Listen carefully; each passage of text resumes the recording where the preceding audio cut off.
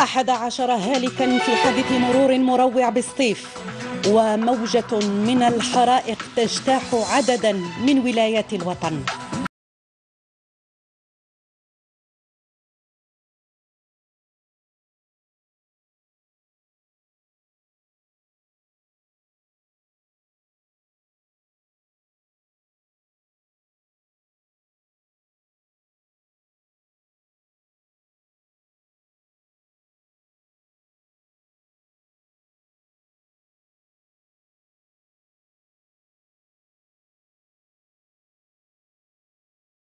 اجتماع لها الهيئة الوطنية للحوار والوساطة تكشف خطة عملها للمرحلة المقبلة.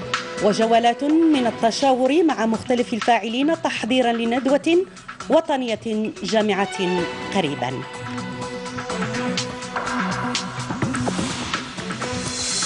تفاصيل النشرة الأخيرة أهلا بكم.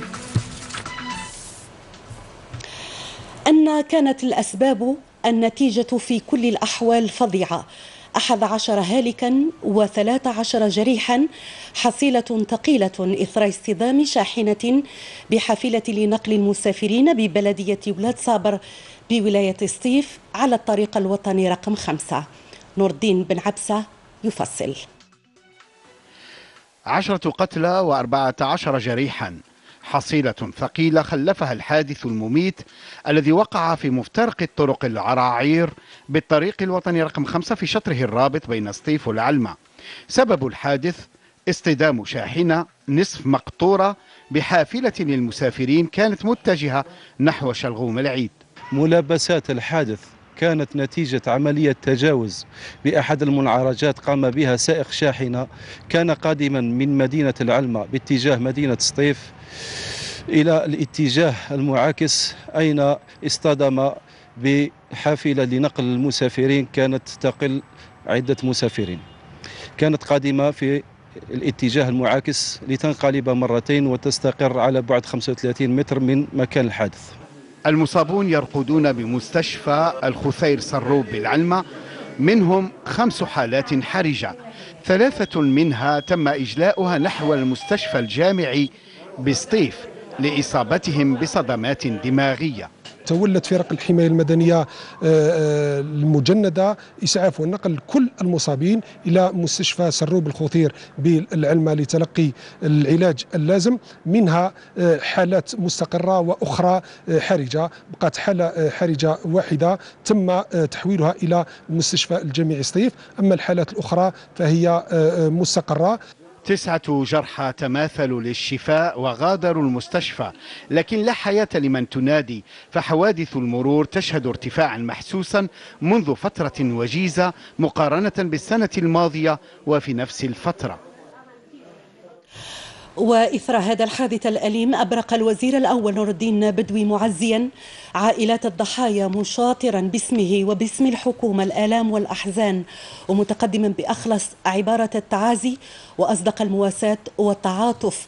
داعيا المولى القدير أن يشفي الجرحى ويتغمد أرواح المتوفين الطاهرة بواسع الرحمة والغفران. وتأمينا لطرقاتنا. يندرج مسعى, مسعى إنشاء مندوبية وطنية.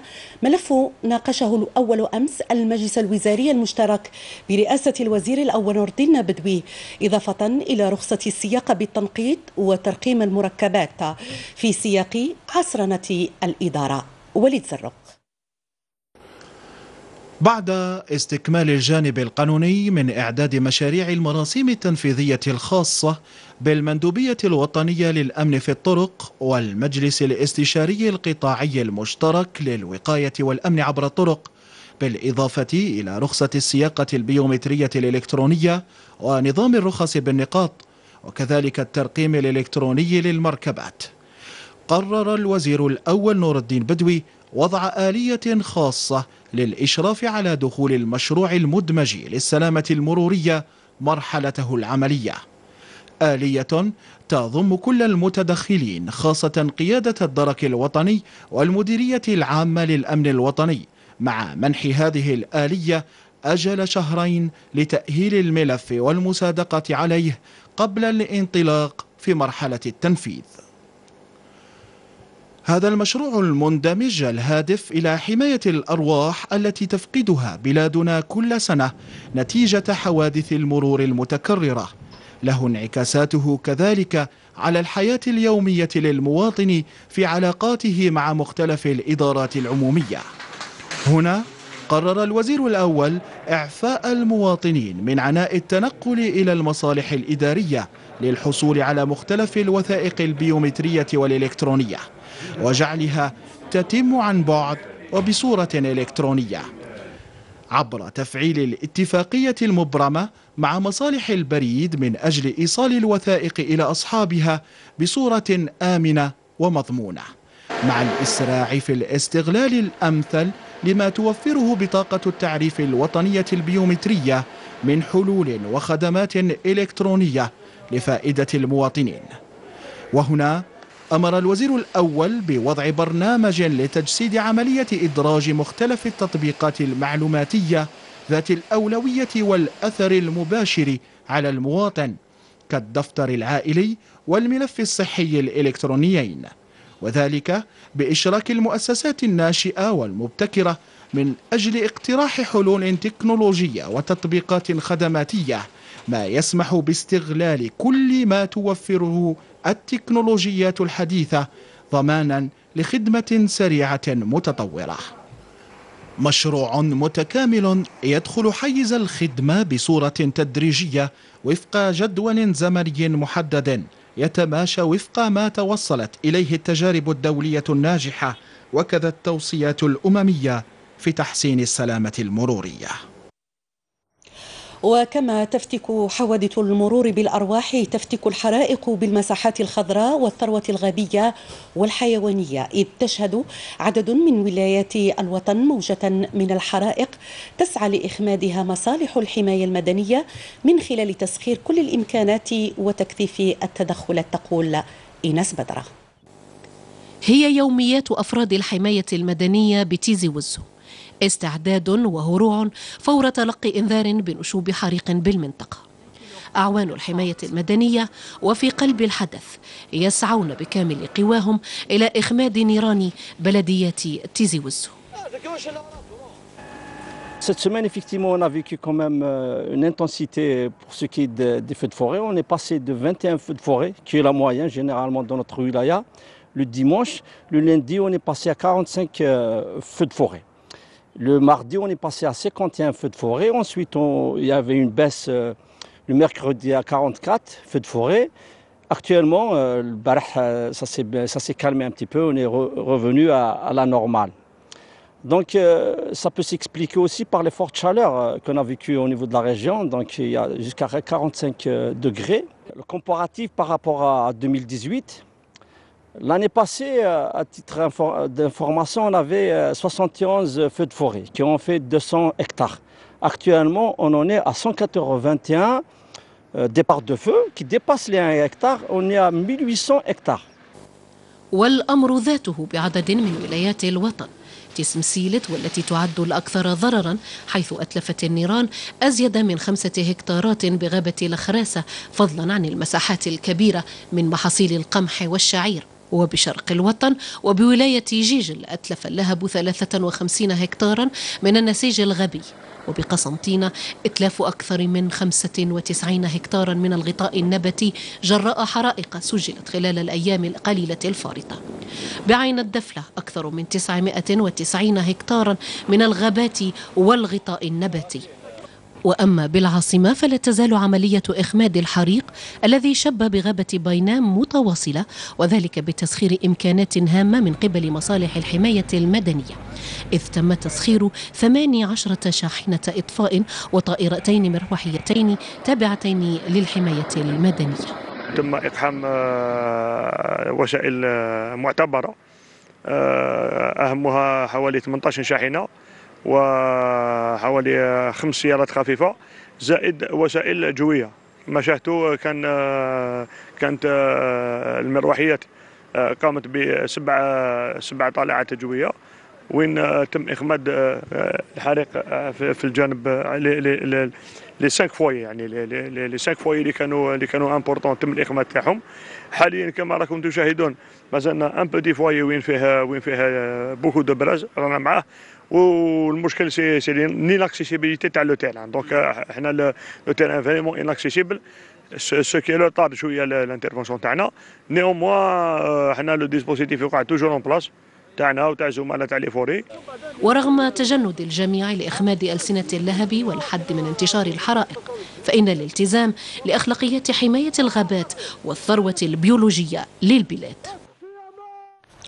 وبولاية تيبازا سخرت مصالح الحماية المدنية إمكاناتها لإخماد الحرائق حيث كثفت تدخلاتها التي قاربت المئة.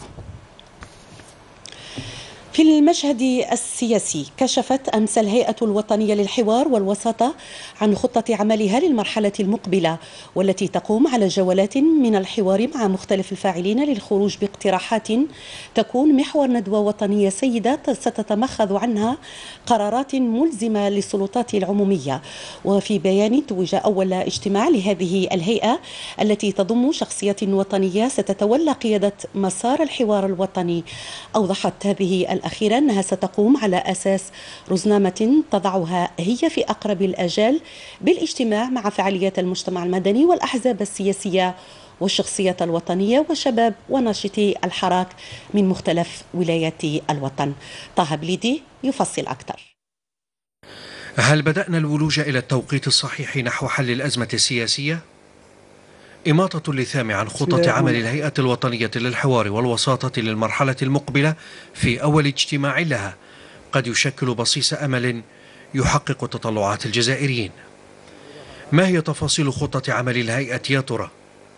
ستعقد الهيئة جولات حوار مع مختلف الفاعلين للخروج باقتراحات لتشكل محور ندوة وطنية سيدة بمخرجات وقرارات ملزمة للسلطات العمومية. بيان أول اجتماع للهيئة الوطنية للحوار والوساطة أوضح أن تحركها سيرتكز على رزنامة تضعها الهيئة قريبا بعد الاجتماع بفعاليات المجتمع المدني والأحزاب السياسية والشخصيات الوطنية وشباب وناشطي الحراك من مختلف ولايات الوطن من أجل الاستماع والإلمام بالتصورات العامة والمقترحات العملية المطروحة للخروج من الأزمة الحالية. بعد انتهاء جولات الحوار المرتقبة ستقوم الهيئة بوضع مسودة بكل تلك المقترحات المقدمة لها. وفي حال وجود تناقضات محتملة ستطلع بمهمة وساطة للتوفيق بين المقترحات قبل أن تشرع في إعداد توصيات نهائية ترفع إلى الندوة الوطنية التي تتمتع بالسيادة المطلقة في قراراتها وستكون ملزمة لجميع السلطات العمومية. من ستشمله الندوة؟ كل الفعاليات التي شاركت في الحوار للمصادقة النهائية على المقترحات للخروج من الأزمة الحالية معنية بهذه الندوة. وتعزيزا لدورها التشاوري التقني في هذه المرحلة أو في المراحل المختلفة سيكون باستطاعة الهيئة تشكيل أفواج عمل من خبراء قانونيين وغيرهم عند الاقتضاء. كما أنه بإمكان فعاليات المجتمع المدني تقديم مقترحاتها في هذا الاتجاه. وفي هذه الفترة السياسية المفصلية الهامة رأت الهيئة أن تذكر في بيانها أنها لجنة غير حكومية لا تقوم على الإقصاء تتكون من شخصيات مستقلة عن الدولة وأجهزتها المختلفة وكذا الحراك قبل أن تجدد دعوتها للسلطات العمومية بضرورة الاستجابة السريعة لما تم الاتفاق عليه بخصوص إجراءات التهدئة والتطمين. في إطار التحقيق المفتوح على مستوى المحكمة العليا استمع أمس المستشار المحقق إلى يوسف يوسفي في قضية معزوز أحمد المتابع بجناح منح امتيازات غير مبررة للغير بشكل عمدي عند إبرام صفقة مخالفة للأحكام التشريعية والتنظيمية. إساءة استغلال الوظيفة عمدا من طرف موظف عمومي على نحو يخرق القوانين والتنظيمات. تعارض المصالح الرشوة في مجال إبرام الصفقات العمومية التبديد العمدي والاستعمال على نحو غير شرعي من طرف موظف عمومي لصالحه أو لصالح شخص أو كيان آخر ممتلكات أو أموالا عمومية عهد بها إليه بحكم وظيفته أو بسببها. تبيض الأموال وقد, وقد أصدر المستشار المحقق أمرا بإيداع المتهم المتهم رهن الحبس. المؤقت. وفي إطار التحقيق المفتوح على مستوى المحكمة العليا استمع أمس المستشار المحقق إلى أحمد ويحيى في قضيتي معزوز أحمد وملزي حميد.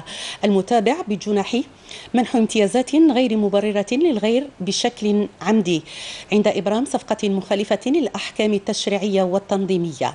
إساءة استغلال الوظيفة عمدا من طرف موظف عمومي على نحو يخرق القوانين والتنظيمات. تعارض المصالح الرشوة في مجال إبرام الصفقات العمومية التبديد العمدي والاستعمال على نحو غير شرعي غير شرعي من طرف موظف عمومي لصالحه أو لصالح شخص أو كيان آخر ممتلكات أو أموالا عمومية عهد بها آه، إليه بحكم وظيفته أو بسببها. تبيض الأموال وقد أصدر المستشار المحقق أمرا بإيداع المتهم رهن الحبس المؤقت في قضية معزوز أحمد وأمر بوضع آه، بوضعه في إفراج في قضية ملزي حميدة. تجسيدا لتعليمات الوزير الأول نور الدين بدوي بخصوص قطاع الصحة بالجنوب والهضاب العليا. أقرت أمس اللجنة الوزارية المشتركة التي ترأسها وزير الداخلية صلاح الدين دحمون جملة من التدابير والقرارات الاستعجالية حيث تقرر تجهيز العديد من العيادات بهذه الولايات والإسراع في استكمال المشاريع. إذا إذا تجسيدا لتعليمات آه، الوزير الأول وبعد القرارات التي تم اتخاذها في آه، آه، مجلس الحكومة اليوم اجتمعت آه، اجتمعت اللجنة الوزارية المتعددة ل يعني تطبيق كل القرارات التي تم اتخاذها ووضعها في في الميدان. اولا رفع التجميد على على المشاريع والتجهيزات للمناطق الجنوب ومناطق الهضاب العليا. كذلك آه، يعني فتح آه، ملحقات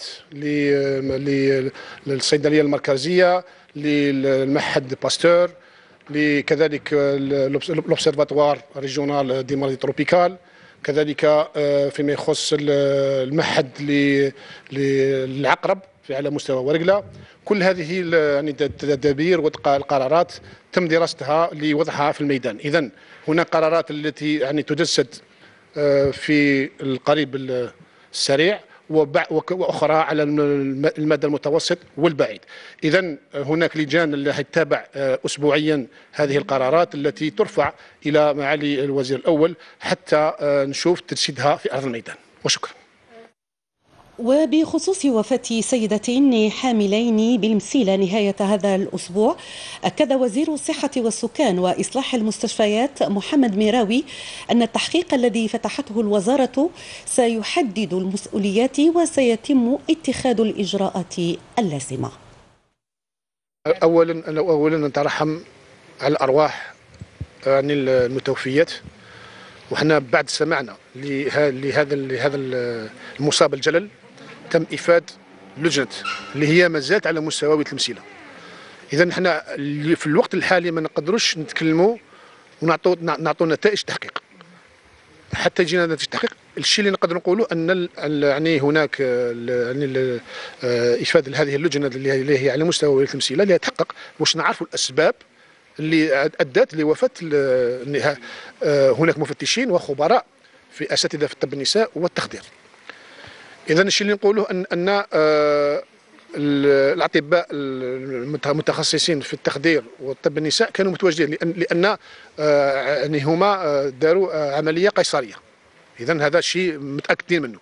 إلا أن التحقيق هو اللي راح يحدد المسؤوليات والإجراءات تتخذ يعني في هذا في هذا المجال. الأمن هو قوام كل تنمية والجهود في هذا الإطار لا تكاد تنقطع بعيون لا تنام لأفراد الجيش الوطني الشعبي لتأمين الحدود. العينة من العامة على الحدود الغربية. مع يونس الكحلديب لطالما ارتبط مفهوم التنمية بالأمن وهو ما يحدث على حدودنا الغربية وتحديدا بولاية عامة أربعة دوائر حدودية مع الجارة المغرب بقراها ومداشرها. عرفت مؤخرا عدة مشاريع تنمية لجعلها مناطق آهلة بالسكان ومنتجة اقتصاديا وهذا بفضل جهود الجيش الوطني الشعبي في تأمين الحدود. إحنا كشباب نشوفوا باللي المجهودات نتاع المؤسسة العسكرية آه، هي مجهودات جبارة ومتواجدة في الميدان وفي كل مكان وفي كل زمان. وبالموازاة مع ذلك تتم صيانة بعض الطرقات بإقليم الولاية لتنشيط الحركية التجارية لولايات الجنوب الغربي كبشار وتندوف. تحسنت بالنسبة لوقت فات. الحمد لله. الطرقات آه عندنا في الشتاء اللي عندنا شوية ل- بزاف قاعد يرنجموا بزاف بعد غادي يطرقفونا ساجنين برز الطريق هذا ما كانش معبد مليح. واليوم راه يتحسن بشويه ماذا بينا؟ يزيدوا ي- يهيئوا شوية. خصها غير المرافق هذا ما خصها وبالأخص أضرار أولف. نتمناهم غير يخدموها هذيك الطريق. راه كسرت لنا كمايننا وريموركاتنا وكل شيء كسراته وهذا الطريق لاباس لاباس راه مليح نوعا ما. برنامج مسطر مع وزارة الدفاع الوطني وين آه، رانا نفتحوا فيه مسالك ومنافذ على الطرق الوطنية وكذلك على الطرق آه، الولائية. وهذا من أجل تسهيل حركة آه، القوات الأمنية. آه، من أجل مراقبة و- وتأمين الحدود الجزائرية. جدلية الأمن والتنمية تتجلى هنا من خلال الحدود الغربية للجزائر مع الجارة المغرب. ارتياح كبير لمسناه وسط ساكنة الحدود الغربية الجزائرية بفضل هذه المشاريع التي فتحت الآفاق وقلصت المسافات بفضل جهود الدولة الجزائرية لخدمة الوطن والمواطن. بنادي الجيش بني مسوس أشرف وزير التربية عبد الحكيم بالعابد بحضور عدد من أعضاء الحكومة على حفل استقبال على شرف الناجحين الأوائل في شهادة البكالوريا دورة جوان 2019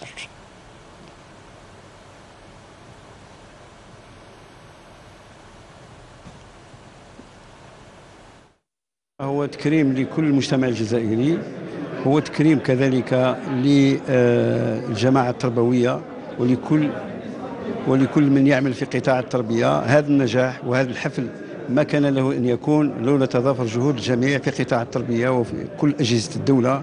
نحن الآن واليوم فخورين أيام افتخار لأبنائنا الذين تحصلوا على معدلات كبيرة وممتازة. نشجعهم وهناك إنزال وزاري في هذا الحفل البهيج اعترافا وعرفانا بمجهودات أبنائنا وبناتنا وكذلك اعتراف بما بذله أبناؤنا من آه، ذوي الاحتياجات الخاصة الذين تحصلوا على معدلات مرتفعة جدا ونسب مشرفة. فلا أخفي سعادتي هذا اليوم وهو يوم مشهود نفرح فيه جميعا ونسعد فيه جميعا. على شرف المتفوقين في مختلف الأطوار التعليمية نظمت ولاية الجزائر حفلا كرمت خلاله أكثر من 80 متمدرس في التعليم الابتدائي والمتوسط والثانوي.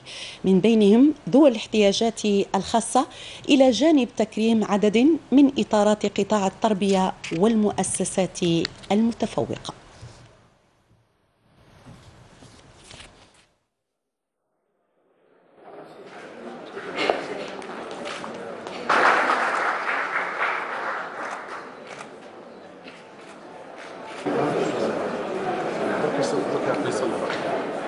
نشكر الأولياء. ونشكر الأساتذة وكل المؤسسة التي أكيد النجاح كان ثمرة عمل لعدة سنوات والشكر لأهلي وكل الأساتذة وكل من ساهم في هذا النجاح. الحمد لله. نشكر الأساتذة تاوعي ومي بارون وسي وأهدي هذا النجاح ليهم. ونشكروا كامل الأساتذة اللي كانوا كانوا واقفين وي وكامل ما يبخلوناش لو كان بالمعلومة الصغيرة والكبيرة والفضل الوالدين تاني اللي وقفوا معنا العائلة كامل. أعلنت وزارة الدفاع الوطني في بيان لها أن تسوية الوضعية تجاه الخدمة الوطنية المتعلقة بالمواطنين البالغين 30 سنة فما فوق إلى غاية الحادي والثلاثين ديسمبر 2014 أي المولودين في ألف في 1984 وما قبل تتواصل في ظروف جيدة. وبهذا الصدد ومنذ بداية هذه العملية وإلى غاية الحادي والثلاثين مارس 2019 ارتفع عدد المواطنين الذين استفادوا من الإجراءات الرئاسية إلى 263579 مواطنا. من بينهم 3768 مقيما بالخارج. وفي إطار الإجراءات نفسها والفطرة ذاتها تم تسوية وضعية 931300 متأخر من الدفعات إلى غاية 2014 أخبارنا الدولية تأتيكم مختصرة بتوقيع مريم تابت سحمت بسواحل ليبيا تمكنت فرق الإغاثة من انتشال 55 جثة حتى الآن بعد انقلاب قارب خشبي يقل مئات المهاجرين نهاية الأسبوع الماضي. القارب كان يقل أزيد من 300 شخص معظمهم من منطقة إفريقيا جنوب الصحراء. المفوضية العليا للاجئين التابعة للأمم المتحدة وصفت هذا الحادث بأسوأ مأساة في البحر المتوسط هذا العام. أعلنت إيران أنها ستواصل تقليص التزاماتها بالاتفاق النووي الموقع عام 2015 حتى تتم حماية مصالحها. جاء ذلك عقب اجتماع في فيينا بين الدول الموقعة على الاتفاق النووي لتكون مسألة التوتر القائم في مضيق هرمز حاضرة على طاولة النقاش وهذا على خلفية احتجاز طهران لناقلة نفط ترفع العلم البريطاني. اهتزت أمس العاصمة الأفغانية كابول على وقع انفجار استهدف مكتب أحد المرشحين لمنصب نائب الرئيس الأفغاني. يتزامن هذا مع انطلاق الحملة الانتخابية للرئاسية المقررة في سبتمبر القادم. أتممنا النشرة الأخيرة هذه الأخبار وأخرى تجدونها على مواقعنا على شبكة الإنترنت. أطيب المنى والسلام عليكم.